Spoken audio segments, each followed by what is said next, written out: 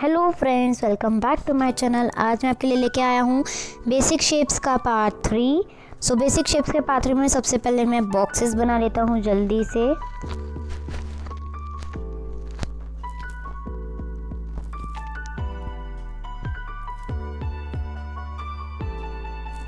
Okay so boxes बन जाने के बाद मैं आपको बेसिक शेप दिखाने वाला हूँ।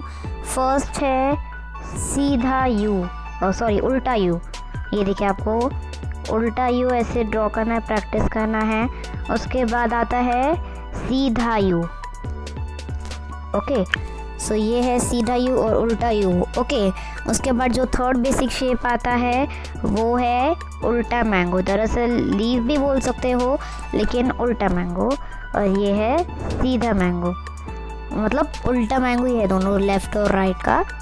एक लेफ़्ट साइड से दिखा है और एक राइट साइड से दिखा है। सो so, एक स्केचिंग में हमारे काम आता है जो कि है ये हैचिंग ओके सो ये आपको खाली क्या करना है? लाइन्स ऐसे बनाना है बाजू बाजू में स्पेस नहीं देना है।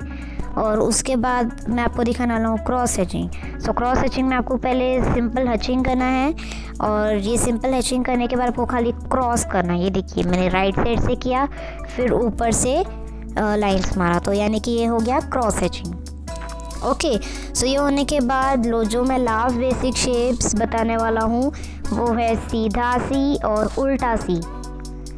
ओके सो ये देखिए, ये सीधा सी और उसके बाद ये अभी मैं उल्टा सी ड्रॉ कर रहा हूँ। ओके सो ये थे हमारे सिक्स बेसिक शेप्स एक बार वापस से दोहरा दोहरा लेते हैं।